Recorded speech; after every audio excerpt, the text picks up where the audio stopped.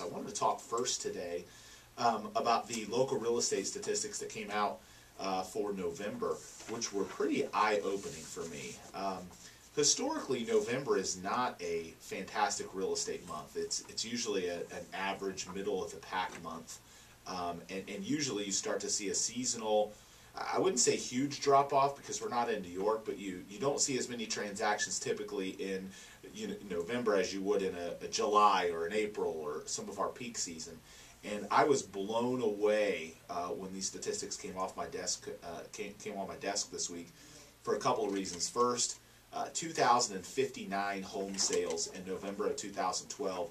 That is um, nearly 35% uh, more than November 2011, uh, almost 50% more than November of 2010, and uh, about 35% more, uh, or actually about 30% more uh, of November 2009. So a lot more home sales happening today, and um, what's what's what it's fueling is a lower inventory. We're down to 3.2 months of inventory. That's officially uh, that, that's a seller's market.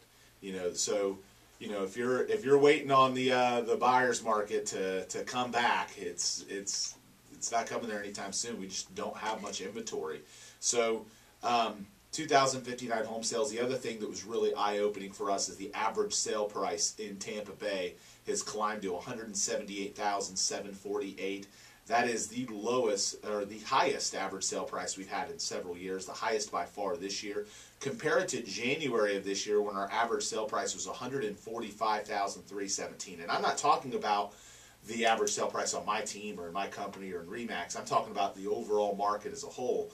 And uh, while ours our company mirrors uh, the, the, average sale price of the of the market, that's a you know over 20% gain uh, you know year to date in the average sale price and year over year from November 2011 to November 2012. So we are in a market that is appreciating, and it's it's kind of cool to say because we've been through so much.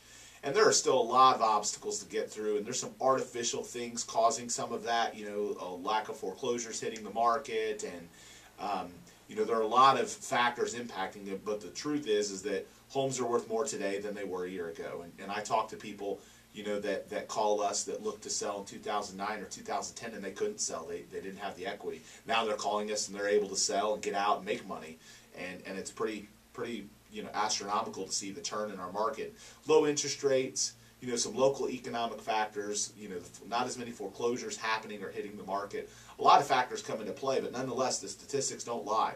Uh, you know, 2,059 home sales, um, you know, 178,000 average sale price, three months of inventory, and the average home is selling in 85 days.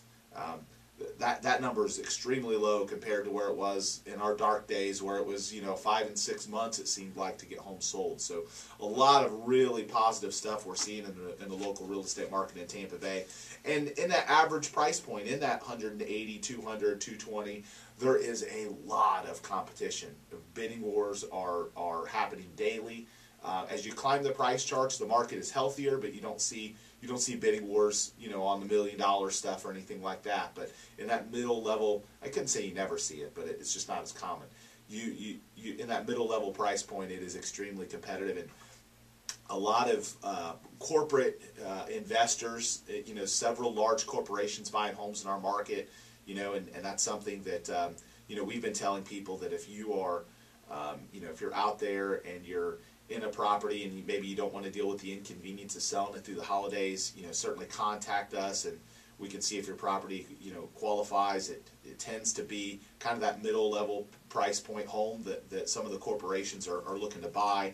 You know, the 3-2 with a garage uh, under $300,000 and, and turning them into rentals. And it's, it's pretty, you know, it's, it's something we're seeing more and more every day. More and more companies tar- starting to do it and it's a great opportunity for home sellers that don't want to deal with the inconvenience of selling to you know to sell direct to one of these companies, especially in in times like this where you know you don't want to open up the house on you know the day after Christmas for showings and things like that.